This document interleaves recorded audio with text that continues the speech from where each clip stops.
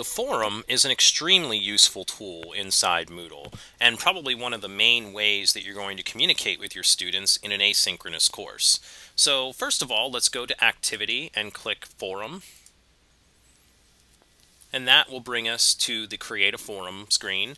Now here under Forum Name,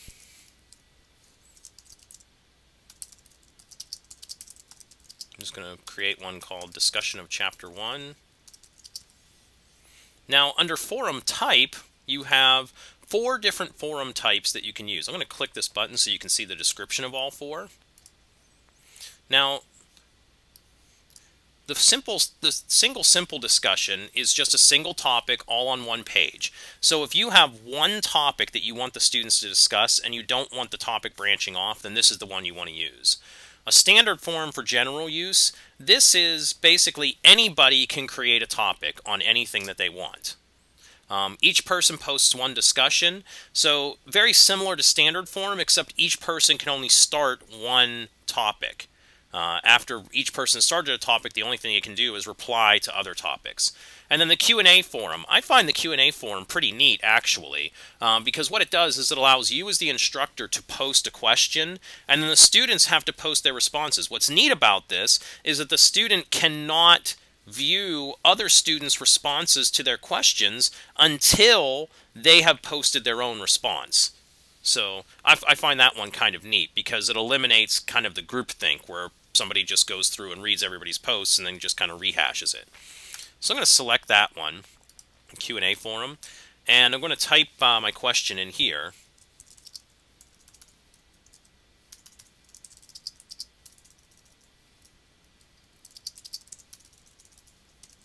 If I can type.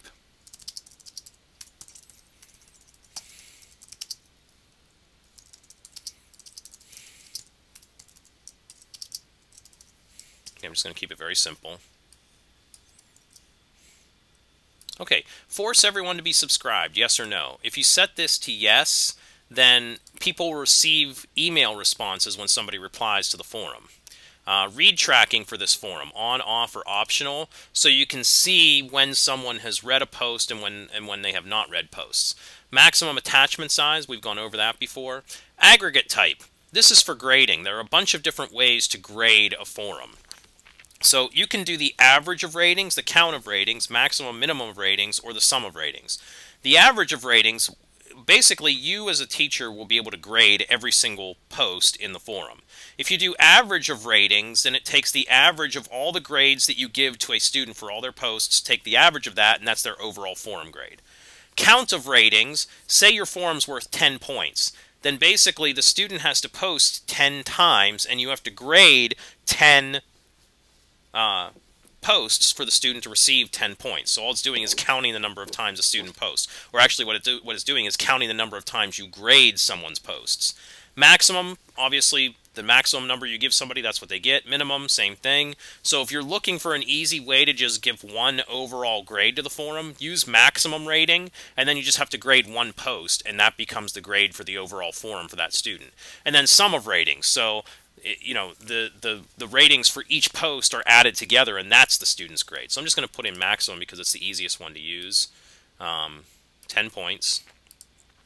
You can also restrict ratings to these specific dates. So if the student posts outside of these dates then they basically don't get any points for it uh, post threshold for blocking so if you want to make sure that students don't post too much in the forum, you can set this post threshold for blocking. So the time period could be a day, two days, a week. So what you can do is you can say in, a, in any given one day, I'm going to block you from posting if you post more than 10. And I'm going to give you a warning after you've posted 7. So after the after the student's seventh post, they get a warning. After they post their tenth time in one day, they can't post anymore. So I'll click Save and Return to Course. Scroll down to my forum. Discussion of Chapter 1. Now I'm going to add a new question for the students. Even though this is posted right here, I'm still going to add a new question.